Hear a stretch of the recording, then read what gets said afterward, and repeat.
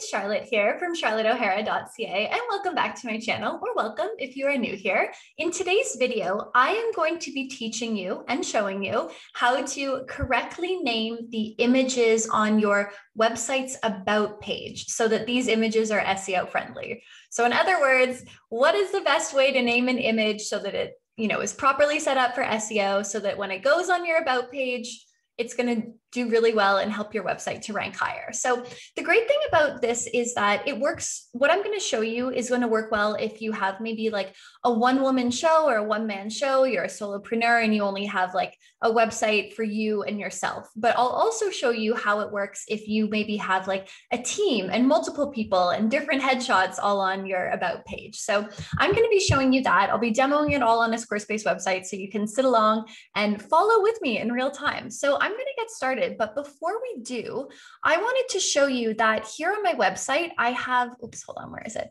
Um, I have a Squarespace SEO checklist. And I'm showing it to you because maybe you didn't know that this was out here, but basically what it is, it's a one page download that has been downloaded by thousands and thousands and thousands of people. And it will basically just walk you through everything you need to know about Squarespace SEO. So whether you're like a complete beginner and you need some guidance, or maybe you're more of an intermediate and you want to make sure that you just haven't forgotten anything or left something out while you've been working so far, then grab a copy of this. It's linked down below. It's so helpful. I know you're going to love it because like everyone else does too and they are fine they find it so useful. So you're welcome in advance for the squarespace seo checklist. All right now let's get back to the website. So imagine here we've got our cute website here. I'm demoing this by the way on a squarespace 7.0 one of the raleigh template websites but if you're on 7.1 it's exactly the same process okay? So if yours looks a little bit different it doesn't matter. It's the same the same process once we actually start naming the image so pretend here that we have in this first case, you have like Katie Smith, she's a wedding photographer. Okay. So let's take a look at this page. So right now you have just a very basic, you know, about page, imagine, right? It's it's chilling here, very relaxed. Now what we want to do is take a look at the image that we're going to be putting. So perhaps you're like, hey, I'm interested in Squarespace SEO and I want to learn how to do the image, but the current image that I have in place is something like this, where you see, look at that file name. Oh my goodness, that file name is a disaster.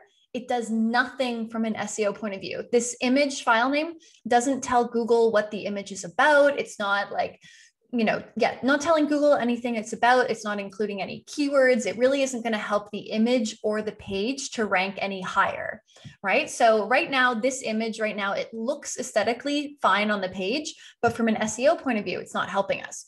So we, so maybe you find yourself in a case like this where you're like, I got to fix what I currently have or maybe you're like i don't i haven't even built my page yet so i want to do it right from the start.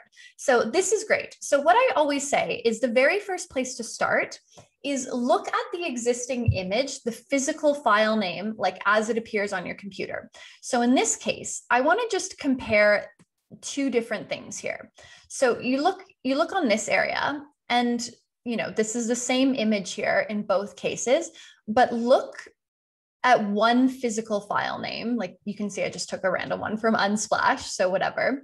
But you can see that what I've done to start is I've renamed the physical file name, right? So in this case, it would be like Katie Smith, Seattle wedding photographer, headshot, right? Or, you know, you could be like John Smith, VP of marketing for whatever company or something, you know, what like yeah something similar to that. So what we're doing the very first thing is we're just renaming the physical file name okay? And now once we've renamed the physical file name on our computer then we're going to come here to squarespace and we're going to replace the image with the correctly named one. So now i'm going to like delete the old one with the bad image title and i'm going to update it by inserting the correct the correct image, right? And now you can see that the image information is all there. It's fantastic. Like we love to see it. So now it's much more valuable from an SEO point of view. Okay. And then here in, you can see that there's also sections for like image alt text that you can kind of like override. You can, oopsies, um, you know, put some information in here, the image alt text. It's going to pull automatically the like physical file name. So in most cases, if you've named it properly, you like don't really need to add anything else in there. Um, but yeah, this is like the main place that I would start with. And then again, with the alt text, um, you know, you can add like these bad bit of information. You can say Katie Smith, like Seattle wedding photographer, maybe something like self portrait sitting on the floor, whatever. Because again, what you're doing here is you're describing the image so that it is like, you know, better for people that maybe are like visually impaired, but also the image alt text can benefit from an SEO point of view. So you're getting the double whammy of having the image file name correctly done. And then you're also adding the keywords here into the image alt text. So do you see how it's all kind of connected there? So I'm going to save that page right now so you can see how it looks if you just have maybe one image on an about page. But now let's pretend, um, you know, that we have another case. So in this case, pretend, you know, we're no longer Katie Smith wedding photographer. Now in this case, pretend we are going to be Coastal Construction Limited. Okay, pretend, roll with me here. We're, we're doing it all. We're doing the most. And now in this page, in this one, which will be slow here, okay, now we've got different images, right? So in this case, pretend we've got like John Smith, who's a VP of marketing, and then we also have, let's say, like Jane Smith, who's the VP of technology, right? So in this case, if we wanted to do something similar, we want to make all of the images SEO friendly, even this one, maybe you're like, hey, this is the coastal construction team. Then you're going to come back and update it from like the physical file names once again.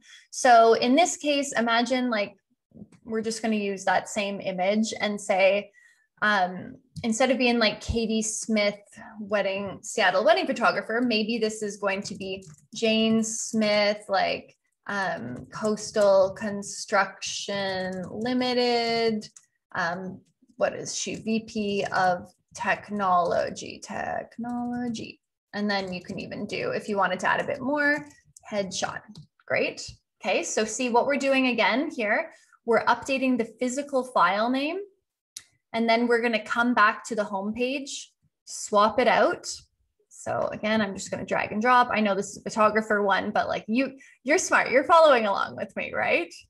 Good. And then you can see here that not only does all of the like SEO information there, you can see that the updated file name content is there. And then again, you can come in here to the image alt text and like add a little bit of info there. So you do it for this one.